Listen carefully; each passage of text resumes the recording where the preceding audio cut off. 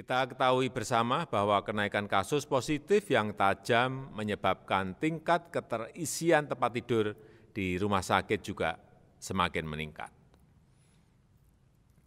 Pemerintah telah mempelajari berbagai opsi penanganan COVID-19 dengan memperhitungkan kondisi ekonomi, kondisi sosial, kondisi politik di negara kita Indonesia, dan juga pengalaman pengalaman dari negara lain.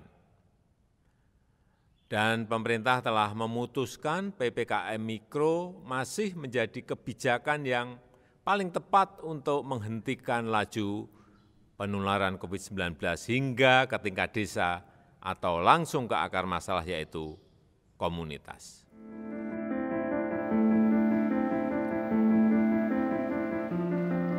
Presiden Joko Widodo sore tadi mengatakan bangsa Indonesia saat ini masih harus menghadapi ujian yang berat.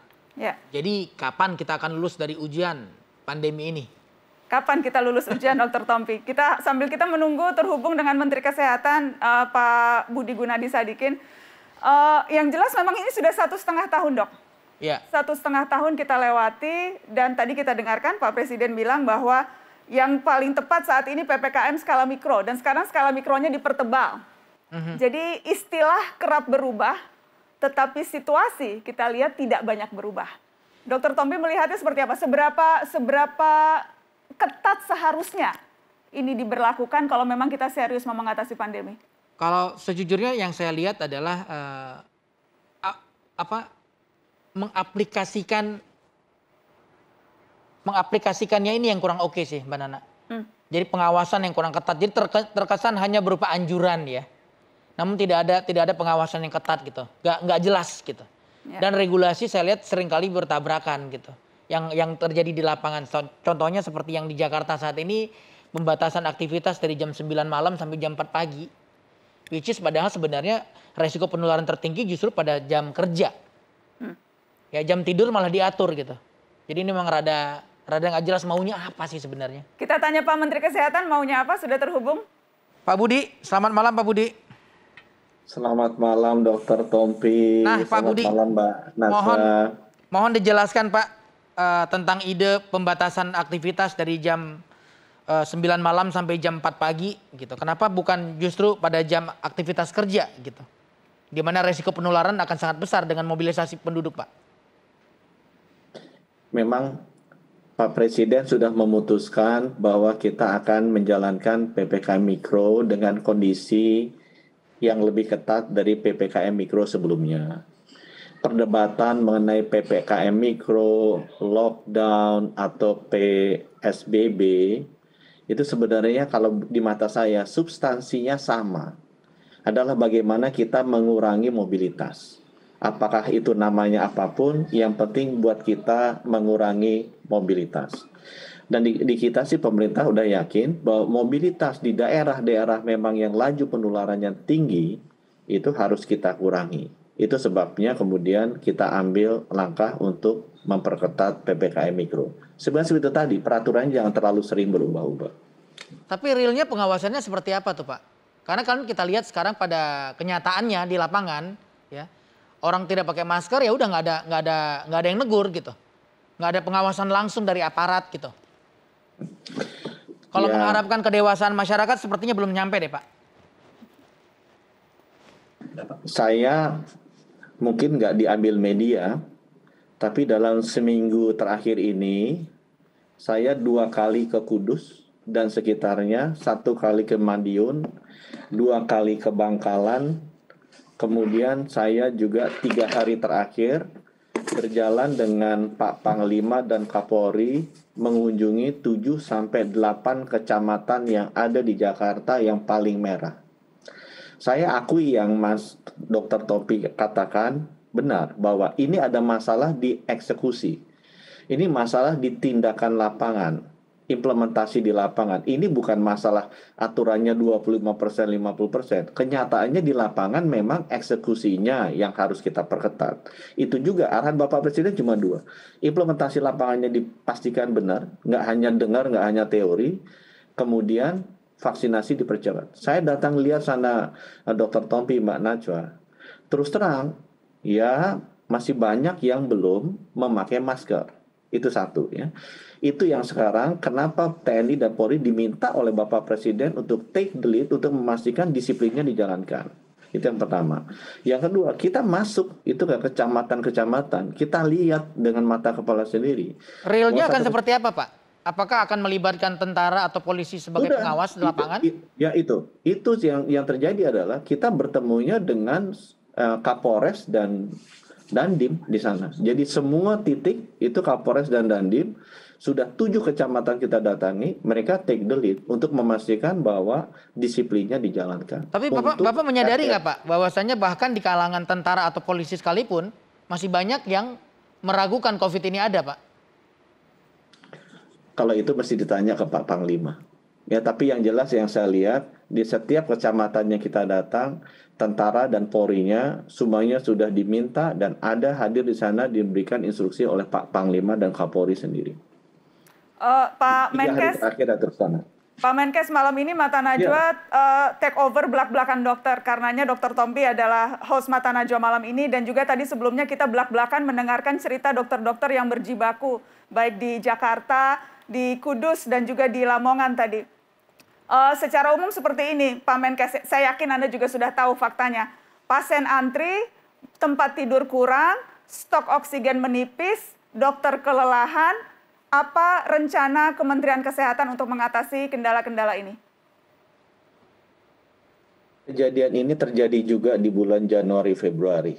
Ya, untuk membuat konteksnya sama, kejadian Januari dan Februari lebih parah daripada yang sekarang karena banyak dokter dan perawat yang wafat pada saat itu. Ya. Saya sedih melihat ini terjadi karena kita juga sudah sama-sama mengantisipasi ini dan kita mencoba mengedukasi rakyat agar ini jangan terjadi tapi faktanya sudah terjadi. Apa yang kita lakukan sekarang? Yang pertama saya lakukan adalah kita sudah menambah jumlah kamar rumah sakit terus menerus dari 60 ribu di tahun di awal tahun sekarang sudah 85 ribu dan kita siapkan akan naik 90 ribu. Terisi sampai sekarang 53 ribu secara nasional. Naik dari 23 ribu sebelum lebaran. Kita masih ada room sekitar 25 ribu lagi di atas dan kita akan naikkan itu menjadi 35 ribu. Dokter-dokter dan perawat sakit saya confirm. Saya datang ke Kudus 300 kena ada satu dokter umur 70 tahun, spesialis THT, terkena. Saya sangat khawatir karena saya tidak mau kehilangan dokter seperti yang lalu, saya suruh dia langsung dibawa ke dokter Karyadi. Untuk informasi Mbak Najwa, semua dokter itu sembuh, yang dokter 70 tahun sembuh.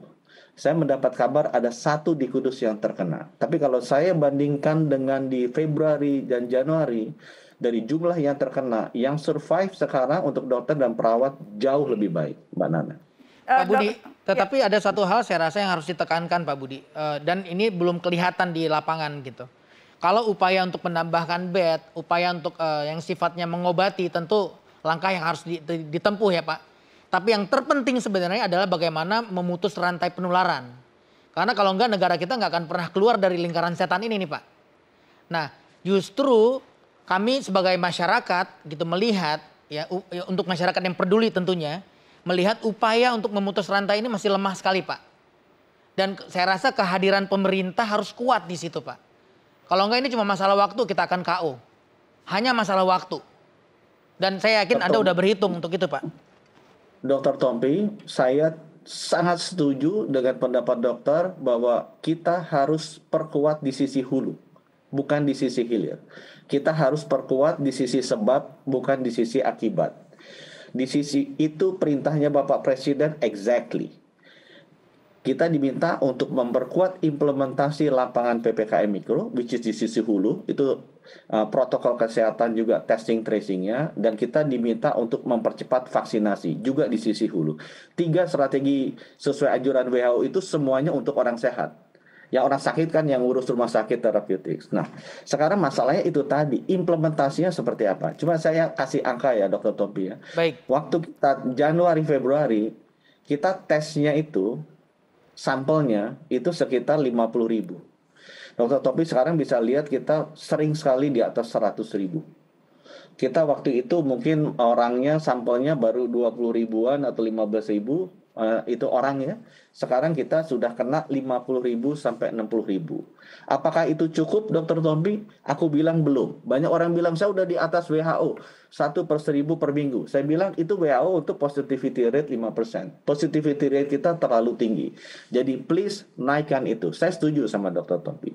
Nah sekarang yang kedua, yang paling masalah adalah disiplin masyarakat untuk memakai masker. Itu yang memang harus kita tekankan. Nah itu masalahnya masalah kita bersama. Saya di sektor kesehatan sangat bergantung kepada TNI Polri untuk melakukan hal ini. Ya kalau saya bilang ya, sebenarnya pandemi ini pasti akan berakhir.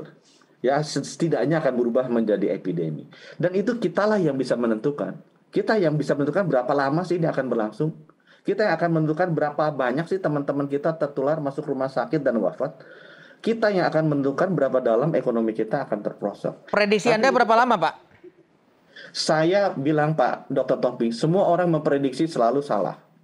Jadi kalau saya jujur, saya lebih baik fokus ke bekerja untuk memastikan ini terjadi. Tapi, kan harus ada target dong Pak. Kalau enggak nanti nggak ada nggak ada pegangan ya, Pak, ya Pak. Semua orang sudah ngomongin dan semuanya miss. Kerjaan saya adalah target yang saya kejar. Saya akan target vaksinasinya kalau bisa saya kejar secepat mungkin tahun ini selesai. Itu that is exactly yang saya bisa bicara. Karena it is under our control. Yang Baik. lainnya tidak under our control. Cuma saya mau tutup satu lagi deh, Mbak Banan ya. Kenapa saya bilang ini penting bahwa ini harus bersama-sama. Nggak mungkin kita sendiri. Kita nggak mungkin maju dengan saling menyalahkan gitu. Kita harus bersama-sama menyelesaikan pandemi ini. Kita yang menentukan. Kalau kita hanya saling menyalahkan, saling berdebat, berwacana di luar, tapi tidak eksekusi, nggak selesai. Malah akan terus-terusan rakyat kasihan. Ini saatnya kita bersama-sama yuk kita beresin. Modal sosial kita is so big. Kita unlock, kita rajut, kita gunakan. Energinya dipakai ke arah sana.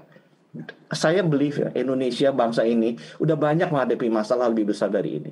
Pasti kita bisa ngatasinya. Asal kita mau bekerja sama dan memanfaatkan seluruh modal sosial yang kita miliki. Baik, Itu terima aja. kasih. Terima kasih Pak Budi dan saya rasa kami semua di sini dan masyarakat Indonesia pada umumnya siap untuk mendukung program baik ini Pak. Semua udah lelah ya dan berharap ini segera berakhir. Mudah-mudahan ya Pak. Sama-sama ya Pak. Ya. Terima ya. kasih. Dan liburan satu lagi Pak Dokter, ini ada liburan lagi. Ini ada liburan sekolah, liburan itu ada. Stay at home and stay safe. Baik Please. Pak. Terima kasih ya. banyak Pak. Pak Menkes, terima kasih sudah bergabung di Mata Najwa Takeover. Selamat bekerja, sehat-sehat terus untuk Anda Pak. Ya, terima kasih. Kita akan break sebentar dan tetap di Mata Najwa.